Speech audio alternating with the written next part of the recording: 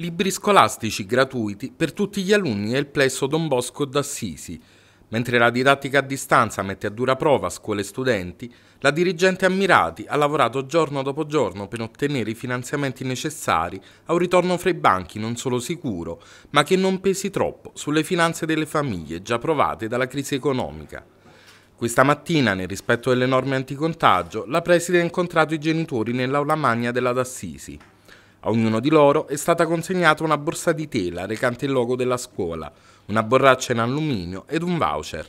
Tramite questo voucher si potranno richiedere, da oggi o direttamente all'inizio del prossimo anno, i testi scolastici gratuiti, tre volumi delle materie principali. Il progetto è nato dalla partecipazione ad un avviso del Ministero. Il Ministero ha messo a bando la possibilità per le scuole di partecipare per avere dei fondi per poter acquistare libri scolastici.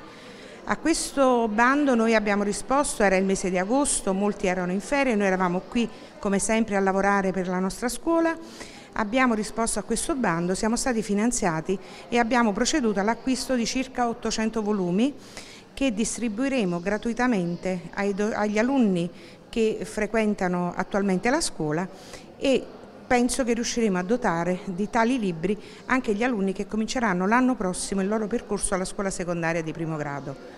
Concludiamo questo anno, questo anno solare che ci ha visti eh, drammaticamente protagonisti di eventi luttuosi, tutti ricordano le, ciò che ci è accaduto, noi usciamo concludiamo quest'anno con un atto di speranza, con un atto di forza che è quello di sostenere l'istruzione pubblica fortemente, impegnandoci in maniera concreta per quelle famiglie, per tutte le famiglie della nostra scuola, che chi più chi meno ha risentito di quella che è stata la crisi seguita alla pandemia. Un anno complicato per tutte le scuole italiane, un anno in cui si è detto che la scuola si è fermata. Come sta andando avanti l'attività della scuola? Come procedono i vari progetti della scuola in questo periodo? La nostra scuola non si è mai fermata. Abbiamo cominciato fin da subito a fornire ai nostri alunni gli strumenti multimediali tablet per poter partecipare alla didattica a distanza. La prima consegna è avvenuta il 28 marzo dello scorso anno, quando ancora la didattica a distanza non era stata resa obbligatoria. Abbiamo continuato con la distribuzione dei dispositivi, oggi contiamo di aver distribuito più di 100 tablet a tutti coloro che ne hanno fatto richiesta. Inoltre abbiamo continuato a partecipare a delle progettazioni per accedere a finanziamenti e l'esempio dei libri è un, un esempio di tale dinamismo della scuola e stiamo portando avanti anche i nostri progetti PON a distanza utilizzando le piattaforme ed in questi giorni si sta svolgendo l'ultimo meeting del progetto Erasmus che aveva visto l'anno scorso presso la nostra scuola delegazioni spagnole, francesi e lituane. Oggi si sta svolgendo a distanza il meeting in Lituania a cui stanno partecipando i nostri alunni. Qual è l'appello che si sente di lanciare ai tanti ragazzi che devono iniziare o stanno vivendo questa situazione scolastica?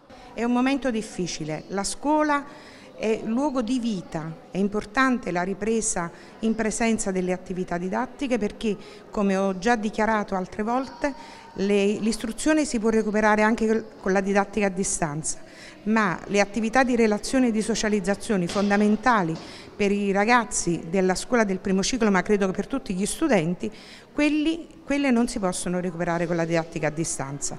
Noi stiamo supportando i nostri alunni e i nostri genitori anche con uno sportello psicologico proprio per accompagnarli a metabolizzare le difficoltà dovute da una forma di esplicazione della didattica che non è naturale.